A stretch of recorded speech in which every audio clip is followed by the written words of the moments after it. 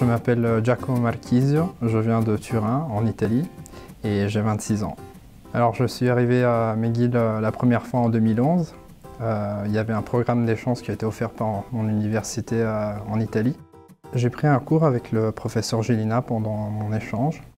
Et par la suite, euh, j'ai commencé à développer une passion avec une passion de l'arbitrage. En général, la demande pour, pour le doctorat est quand même un processus très exigeant et très sélectif. Et donc le soutien de son superviseur est indispensable. Alors pour ce qui me concerne, c'était le professeur Gélina qui avait lancé l'idée au début en sachant aussi que j'étais en train d'apprécier beaucoup euh, mon expérience ici dans le cadre de la maîtrise.